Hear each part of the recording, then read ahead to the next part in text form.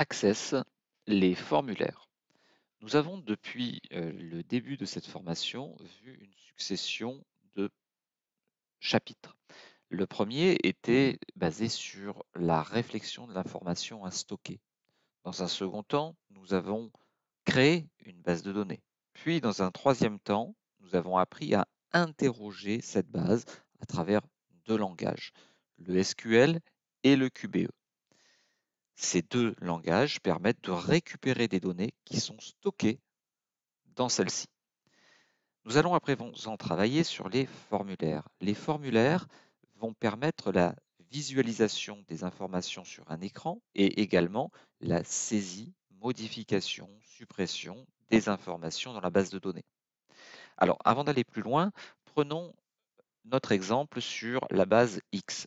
Cette base X, on la retrouvera dans la description euh, sous forme d'un fichier compressé. Donc je vais le décompresser, clic droit, extraire tout, extraire.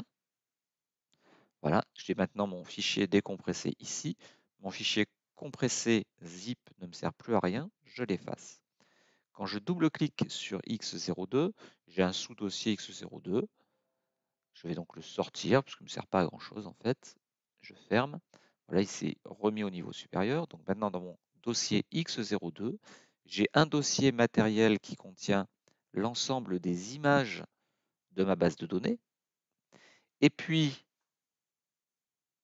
j'ai deux autres fichiers, donc ma base de données X02 et puis un fichier Word nettoyeur haute pression qui va me permettre d'ajouter un nouveau matériel. Ça sera l'un de nos premiers exercices. Alors, prenons notre de données. Je double-clique dessus, je ferme, j'active le contenu. Et donc, nous avons ici l'ensemble des tables que nous avons créées.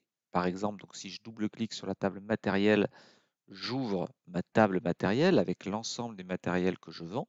Et si je souhaite saisir un nouveau matériel, j'ai deux possibilités. Soit, comme on l'a vu au tout début, on importe des données via un fichier CSV, mais la plupart des données sont plutôt saisies et ne sont pas forcément importées directement dans la base de données, soit je saisis directement dans les tables.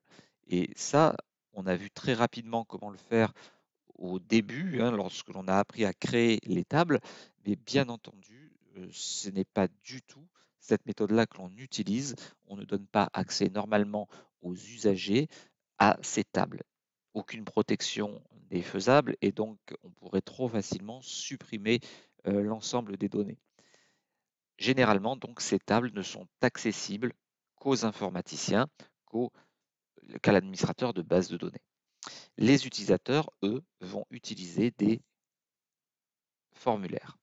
Alors, voyons comment on va créer un formulaire. Justement, restons sur cet exemple de matériel. Ce que j'aimerais, c'est avoir une page qui s'affiche et qui me permettent de saisir un nouveau matériel. Pour faire cela, on va donc déjà refermer la table matériel et on va créer. Alors cette fois-ci, on ne va pas créer une table, on ne va pas créer une requête, mais on va aller dans la section formulaire pour créer un formulaire. Alors on ne va pas créer un formulaire de toute pièce parce qu'un formulaire, c'est quelque chose euh, qui nécessite beaucoup de mise en forme et donc il y a des assistants qui vont nous aider. Donc je vais, puisqu'en plus nous sommes au tout début de notre formation, je vais prendre l'assistant formulaire. Cet assistant formulaire me demande sur quelle table je euh, vais me baser pour créer ce formulaire. En fait, un formulaire fait référence à des champs, puisque l'objectif est de saisir des données à l'intérieur. Euh, donc, bien entendu, il me demande où se trouvent les données. Je peux me baser sur des tables, je peux également me baser sur des requêtes. Donc moi, l'idée, c'est de pouvoir ajouter des nouveaux matériels lorsque j'ajoute des matériels dans ma société.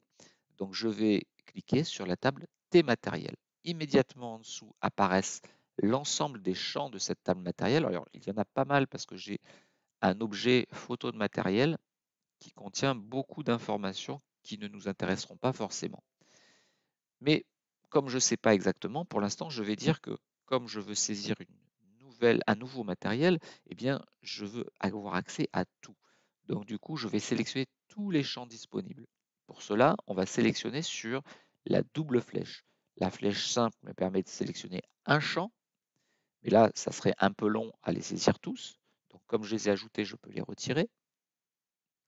Soit je clique sur ce bouton et je les amène tous. Et là, donc, tous mes champs qui étaient à gauche sont basculés sur la petite zone de liste de droite. Ceci étant fait, je vais cliquer sur Suivant. Et là, je suis déjà dans un objet de mise en forme, c'est-à-dire quelle forme je veux donner à mon formulaire. Donc, est-ce que je veux un formulaire par page, écran? Euh, Est-ce que je veux une représentation sous forme de tableau? Donc, j'ai plusieurs possibilités de représentation.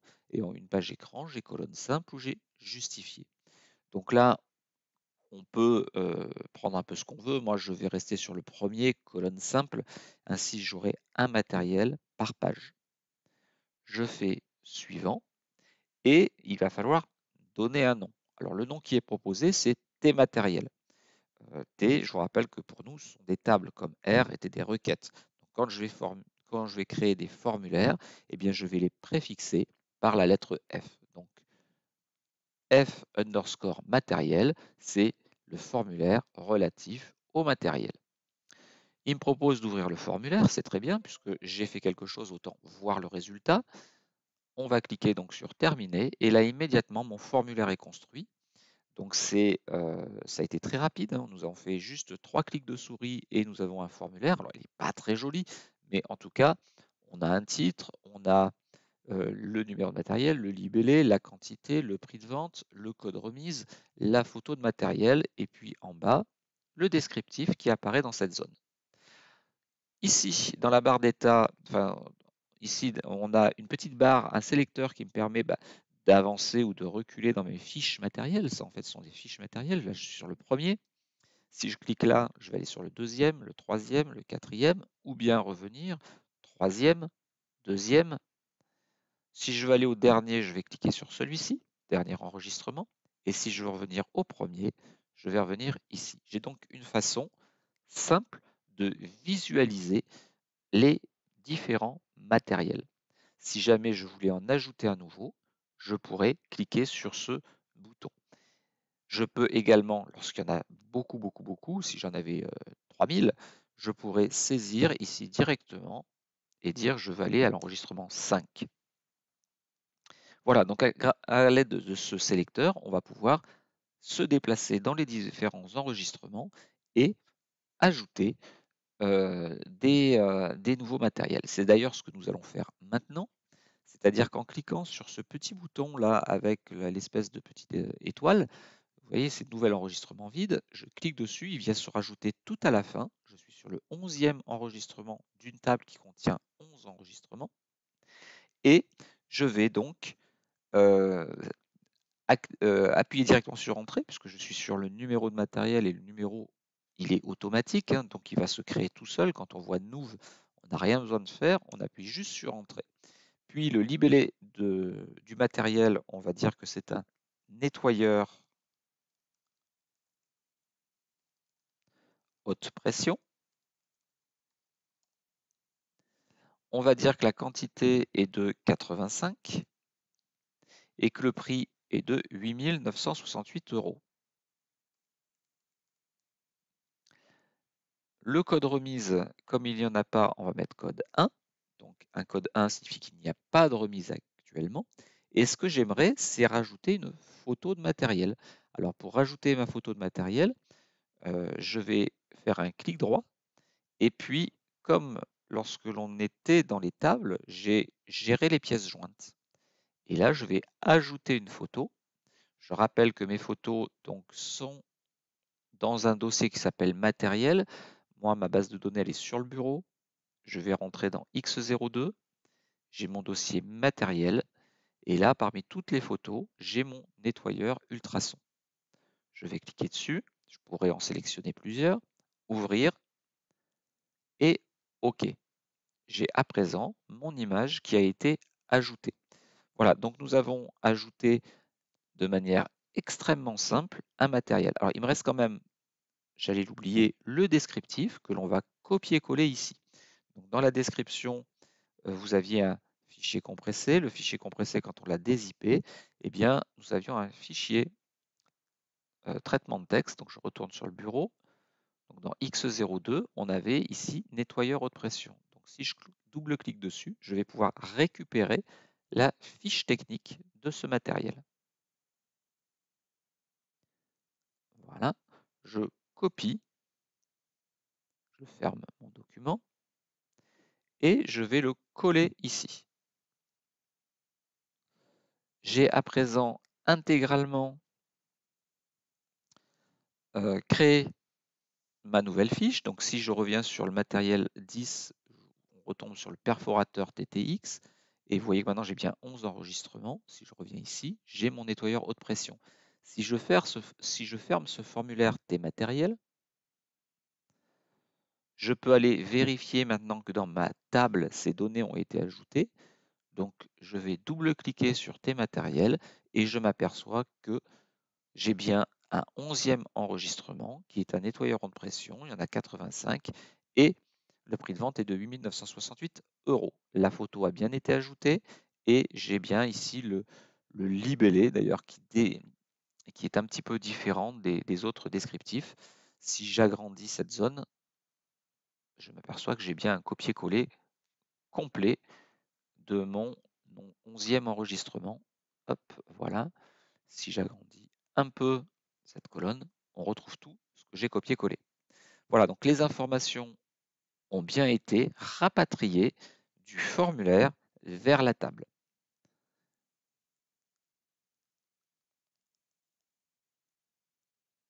Si je souhaite rouvrir mon formulaire, eh bien, on va descendre. Alors, les requêtes, il y en a beaucoup. On peut peut-être les replier puisque pour l'instant, on ne va plus les utiliser. Et on voit que dans la section des formulaires, on a un formulaire qui s'appelle F matériel. Si je double-clique dessus, je vais ouvrir ce formulaire.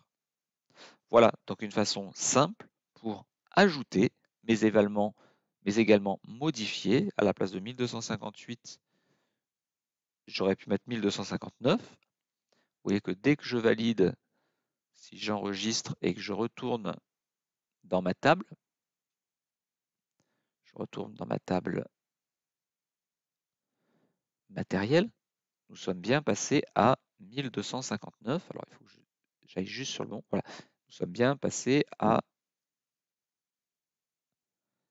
notre nettoyeur rotation 8968-85. Je ne sais plus quelle modification j'avais faite. Alors le plus simple, c'est peut-être d'ouvrir le formulaire. Ah oui, j'ai mis 1259, mais dans le matériel, dans le matériel 1. Donc quand je retourne dans ma table matérielle sur le matériel 1, vous voyez qu'on est bien passé à 1259. Alors pour ne pas modifier les données, je vais remettre 1258. Ainsi, j'aurai bien le même nombre d'enregistrements. Je peux fermer. Et là, la modification que j'ai faite dans la table, si je redouble-clique sur matériel, vous voyez qu'on est bien revenu à 1258. Donc c'est bien dynamique. Toute modification faite dans le formulaire va s'effectuer dans la table. Et toute modification faite dans la table va se répercuter dans les formulaires. Donc les données sont bien stockées dans les tables. Les formulaires, eux, c'est juste des masques de saisie, des masques d'écran qui vont permettre de visualiser les informations qui sont stockées dans les tables. Voilà, j'espère que cette vidéo vous a plu. Si c'est le cas, n'hésitez pas à vous abonner et puis à liker cette vidéo surtout. À très bientôt.